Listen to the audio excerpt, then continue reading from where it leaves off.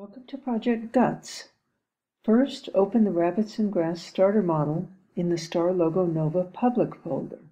Look at the interface itself before starting the model. What can you guess the model might represent or test? Look at the data box and the graph for clues. Start the model by hitting the Setup and Forever buttons and watch what happens on the interface. Who are the agents? What is the environment? How do the agents behave? Focus on observations, like how the rabbits are moving, rather than trying to guess why things might be happening as they are. Think about the assumptions in this model.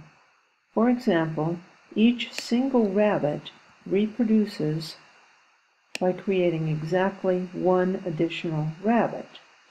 Is that how rabbits behave in the real world? What are some other assumptions behind this model? Run the model several times and see what the possible outcomes are. Do you get the same outcome every time? What variables might we change to make the model more stable or to answer a different question about the ecosystem?